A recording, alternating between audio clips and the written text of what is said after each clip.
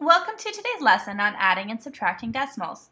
Today I'm going to teach you how to add and subtract decimals up to the thousandths place. Let's go ahead and begin. When you're adding and subtracting decimals, it's very similar to adding and subtracting whole numbers. The difference is you have to make sure you line up the decimal. That's going to make sure that you have the proper place values in order. Let's look at an example together. If we were going to add 5 and 12 hundredths plus 3 and 27 hundredths, we make sure that we have our decimal lined up. When you have your decimal lined up, that means that your ones place will be lined up, your tenths, your hundredths, and so on. So now that we have our decimal lined up, let's go ahead and add. Just like adding whole numbers, you're going to start on the right-hand side and work your way to the left. 7 plus 2 equals 9. 2 plus 1 equals 3. We bring our decimal down to keep it in the same order, and 5 plus 3 equals 8. And that's all there is to it.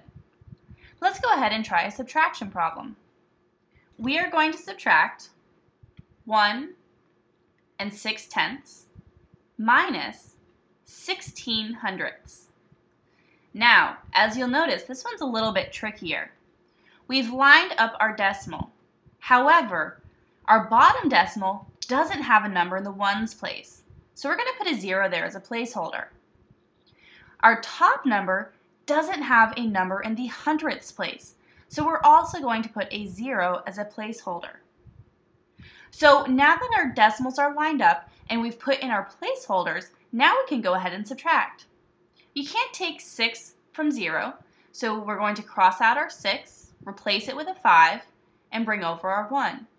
10 minus 6 equals 4. 5 minus 1 equals 4. We bring down our decimal, and 1 minus 0 equals 1. So we were able to complete regular subtraction. All we had to do was bring down our decimal, line up our place values, and then put in placeholders. Let's go through some practice problems together. I'm going to write a problem on the screen, and I want you to solve it. Let's go ahead and start with 98 hundredths minus 33 hundredths. Now make sure you set this up correctly. First, you need to line up your decimals. So we're going to line up 0 and 98 hundredths, making sure our larger number's on top, and then we're going to line up our 0 and 33 hundredths. So now we're ready to solve. 8 minus 3 equals 5. 9 minus 3 equals 6. We need to make sure that we bring down that decimal and we'll bring down our placeholder. So we have 65 hundredths. Let's go ahead and try another one. This time we're going to be adding.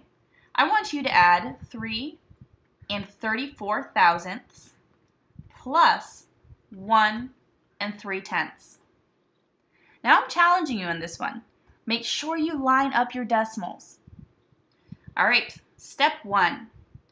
We're going to put our larger number on top, 3 and 34 thousandths, plus 1 and 3 tenths. Now I want you to notice that we've lined up our decimals, which means that we have our ones place lined up, our tenths place lined up, but we have two empty place values, so we need to fill those in with zeros. And now we're ready to add. 4 plus 0 equals 4. 3 plus 0 equals 3. 3 plus 0 equals 3. We bring down that decimal, and 3 plus 1 equals 4. Great job! Let's go ahead and practice a word problem together. Maria has $1.37 to spend at the store. She spends 93 cents. How much money does Maria have left? Well, we know that we're going to be subtracting 93 cents from the $1.37 that Maria starts with. So let's go ahead and write that down. We want to make sure that we have the larger number on the top, and then we're going to be subtracting our 93 cents. Now notice, I've lined up our decimals, and that's going to line up the rest of our place values. Our ones place is lined up, tenths place, and hundredths place. Also, since we have a zero in the ones place, we put our zero in as a placeholder. Now we're ready to subtract.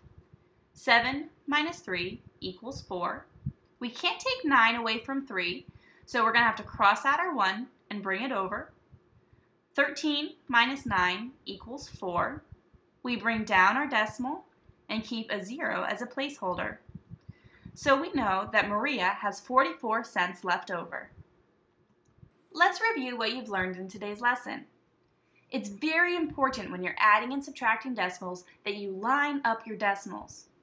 For example, if we were to add 5 and 20 hundredths plus 2 and 304 thousandths, we need to make sure that our decimals are lined up, even though we might have longer place values in one number than another.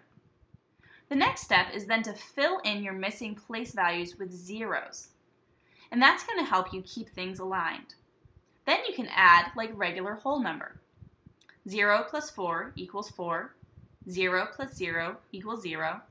2 plus 3 equals 5. We bring down that decimal, and 5 plus 2 equals 7.